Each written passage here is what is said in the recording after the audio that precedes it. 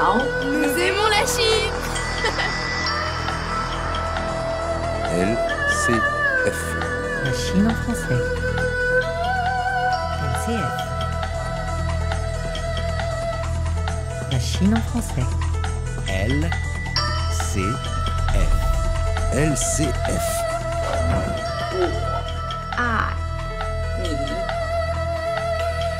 Bonjour à tous, bonjour chers amis et bienvenue dans Chine Express, notre rendez-vous quotidien en direct sur les réseaux sociaux. Chine Express, le magazine avec euh, chaque semaine un invité, en tout cas on essaie, et le bonheur d'habiter dans la capitale, dans une grande ville, c'est qu'on est confronté aux embouteillages et parfois les invités sont un brin en retard. Notre homme est dans l'ascenseur ou pas loin. Notre invité aujourd'hui, chers amis, euh, est toujours entre deux avions. On a eu du mal à l'attraper. Et voyez-vous, encore à l'instant, on a du mal à le faire venir. Il passe son temps effectivement entre l'Europe et l'Asie, et la Chine tout particulièrement.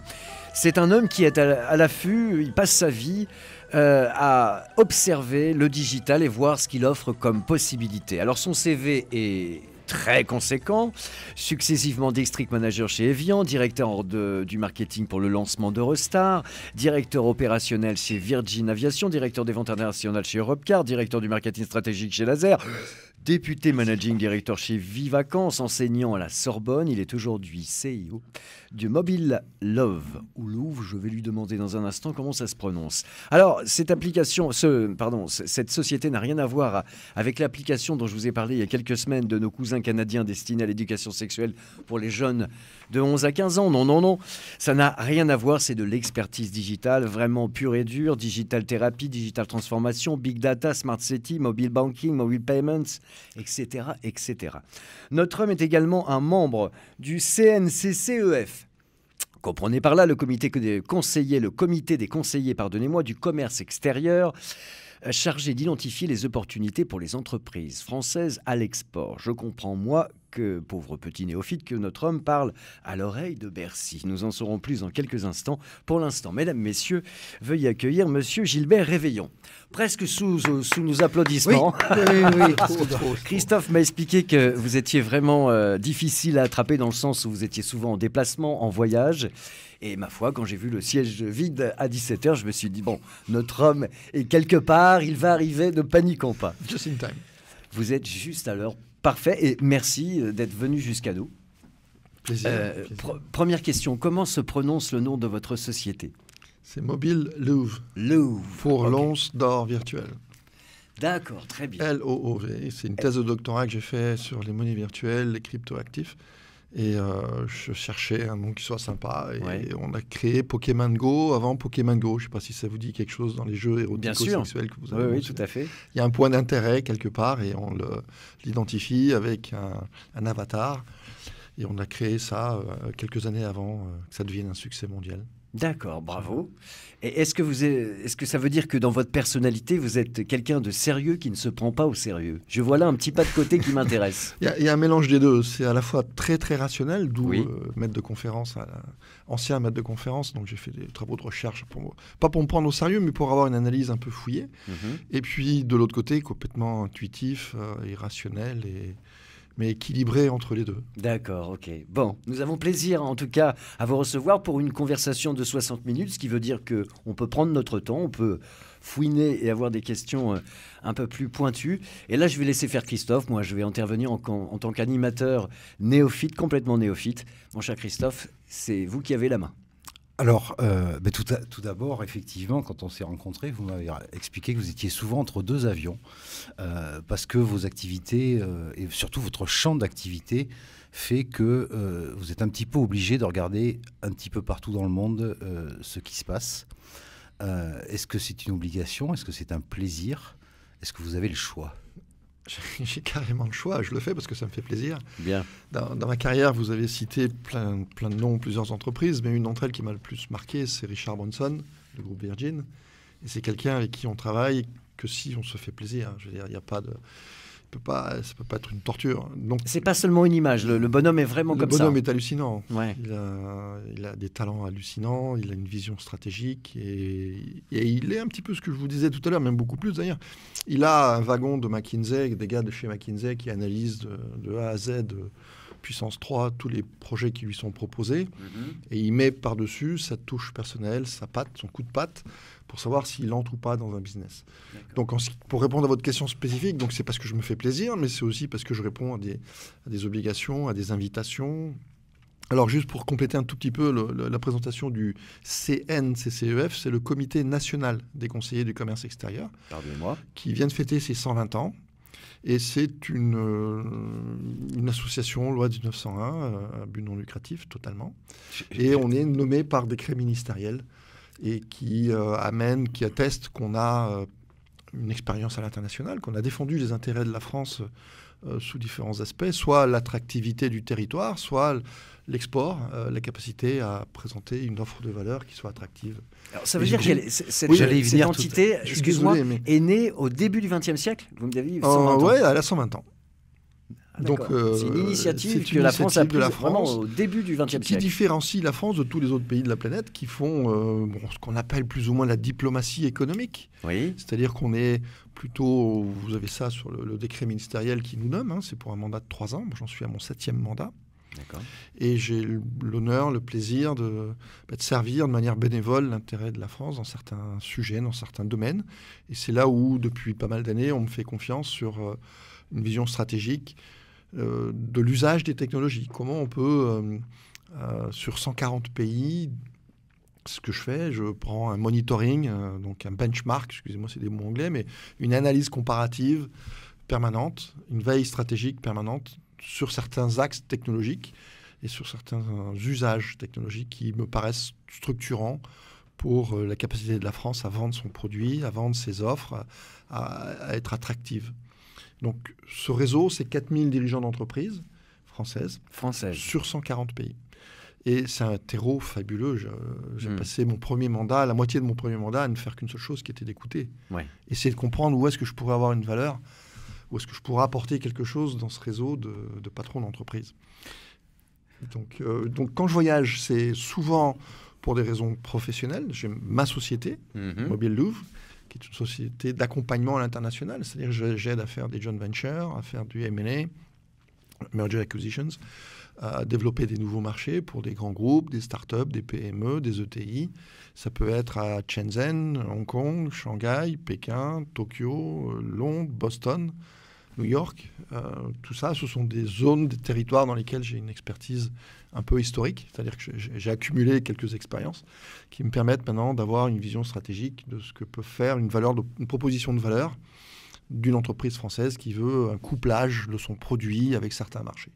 Donc c'est un bassin de- de- d'entrepreneurs qui ont une vision stratégique. Quand vous avez l'intention d'ouvrir un business à l'étranger, euh, vous avez à l'évidence euh, le choix d'aller voir l'ambassadeur et le service diplomatique qui va vous éclairer sur les grandes variables macroéconomiques du pays, la grande disposition euh, juridique, économique, Avec un tas de documents d'ailleurs qui sont disponibles. en Voilà, ligne. qui sont parfaitement disponibles en ligne maintenant, et souvent d'ac- d'actualité, c'est-à-dire qu'ils sont ils sont actualisés. oui. Et là, quand vous y allez, et que vous êtes une entreprise et vous voulez investir sur Hong Kong, par exemple, pour distribuer l'Asie, vous avez en face de vous des patrons qui y sont depuis 15 ans, qui sont français, qui sont conseillers du commerce extérieur parce qu'ils ont passé le processus de sélection et ils ont satisfait toutes les attentes qui sont euh, liées à ce fameux décret Mhm. et qui vous disent bah euh, voilà moi ça fait 15 ans que je vends mon bout de gras euh, sur ce territoire là voilà la réalité des choses. Voilà ce que j'ai appris. voilà ce que j'ai appris. C'est jamais Voilà où je me contradictoire. suis planté aussi souvent, non?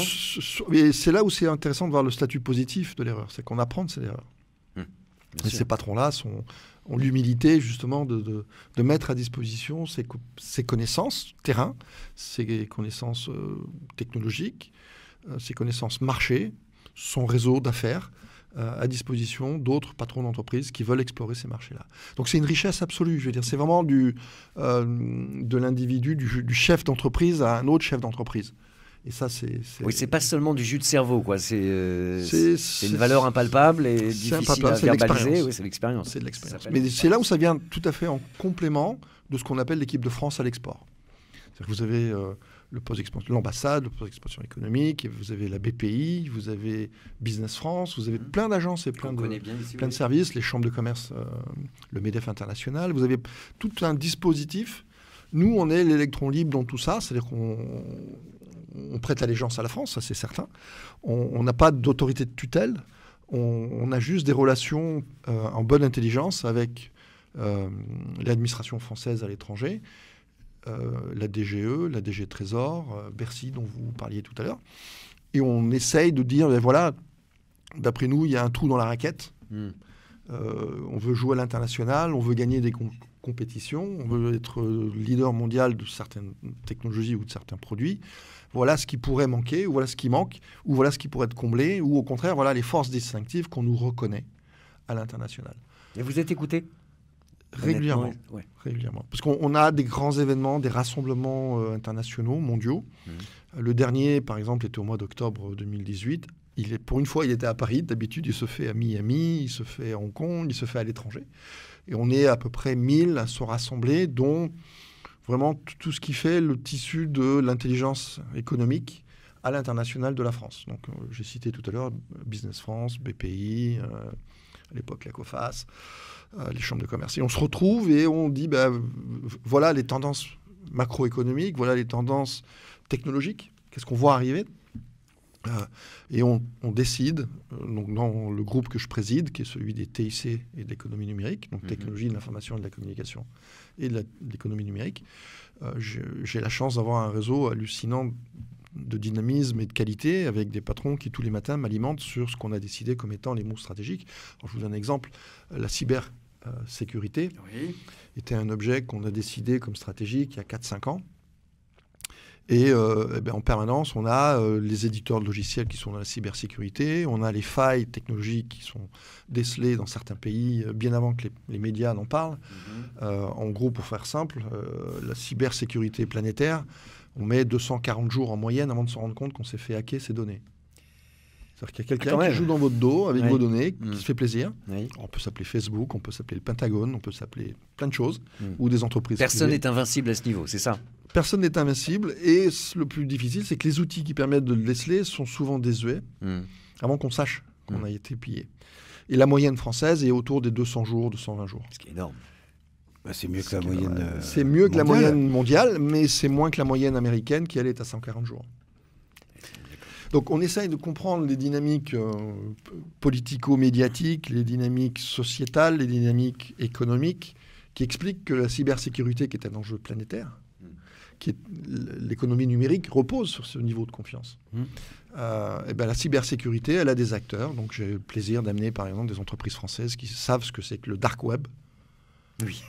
En gros, qu- 4% du web est ce que le web qu'on connaît, 96% est le web qu'on ne connaît pas, qui est euh, qui, qui n'a pas des noms de domaine, qui n'est pas des domaines, des, des Mhm. domain names, qui a des spécificités et dans lesquelles jouent euh, des forces euh, négatives, des forces de politiques, des forces gouvernementales pour aller piller les données des autres. Mhm. Donc quand vous allez voir le gouvernement américain et que vous lui dites, comme d'autres aéroports dans le monde, vous faites partie des aéroports où il y a les plans qui sont sur euh, le dark web et qu'on sait comment l'aéroport est construit, on sait quelle est l'architecture, quel est le positionnement des caméras.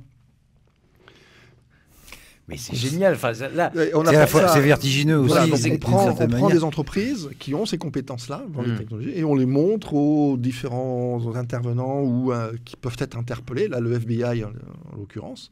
Donc ça s'est fait à l'ambassade de France, euh, à Washington, où j'ai pu prendre une des startups, euh, de manière tout à fait bénévole, française, qui se distinguait, des centraliens brillantissimes, qui ont fait cette proposition de valeur, qui scannent 8 milliards de pages par jour et qui ont démontré au FBI que le matin même, ils avaient non seulement les plans de l'aéroport, les caméras où elles étaient placées, mais les munitions dans les armoires à munitions, le roster, donc le, le plan de euh, roster, je ne sais plus comment on dit en français, là. La, la rotation des shérifs euh, et l'adresse personnelle des shérifs, tout ça est disponible sur le dark web. Je peux vous garantir que l'entreprise française, elle brille dans ce cas-là. oui, oui, forcément, Et forcément. voilà. Donc c'est- bénévole, c'est fait avec l'intention de dire, ben voilà, on n'est pas forcément les meilleurs partout en tant que Français, mais on est bon.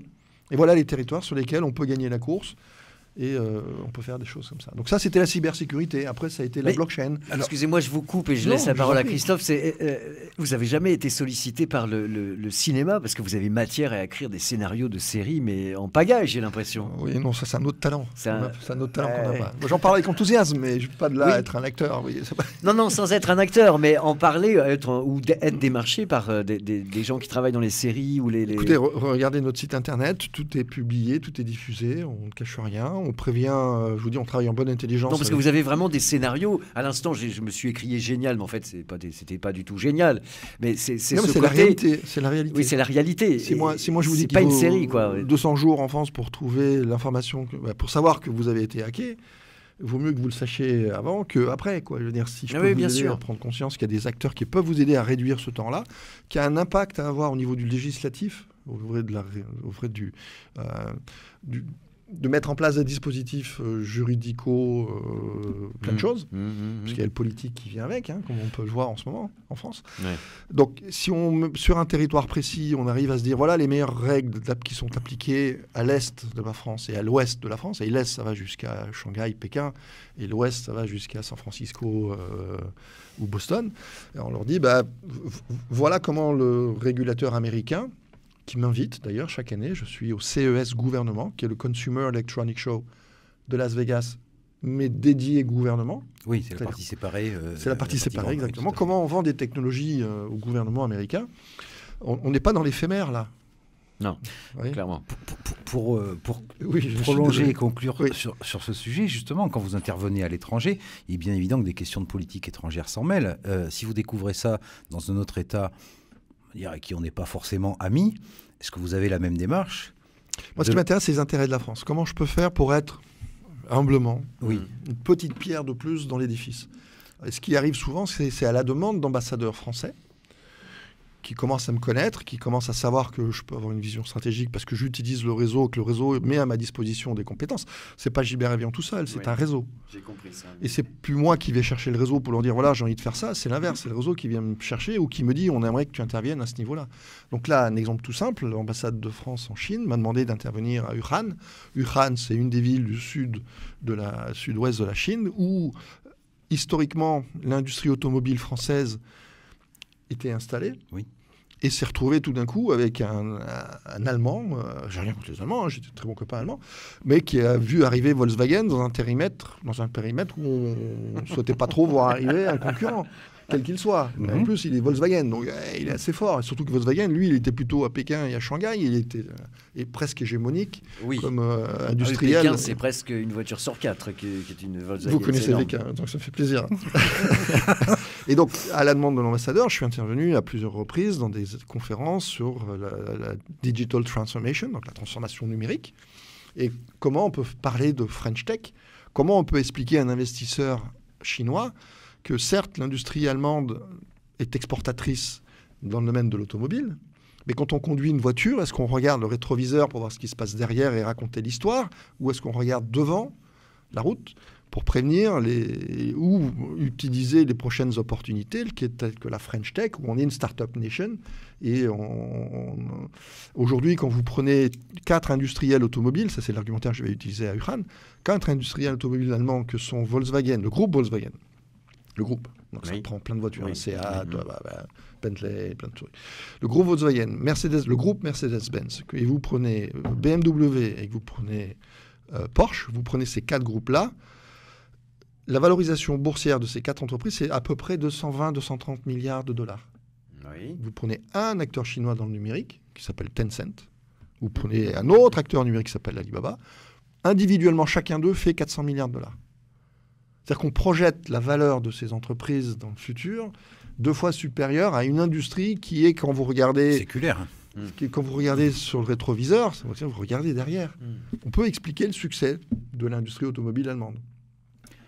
Alors, pour, euh, pour, euh, sur ce sujet... ils n'étaient pas contents, les Allemands, quand ils m'ont entendu parler. Oui, on peut comprendre. Ouais, et mon rôle, c'est d'expliquer qu'on est une startup nation, qu'on a Ouais. la capacité de construire l'avenir, qu'on fait mieux que tout le monde euh, un, un tissu économique de French Tech et qu'on gagne des prix au CES de Las Vegas et qu'on est la première puissance France internationale étrangère au CES de Las Vegas, qui est la, c'est, la mecque mondiale, c'est, Oui. la- c'est le centre de gravité mondiale de l'innovation technologique.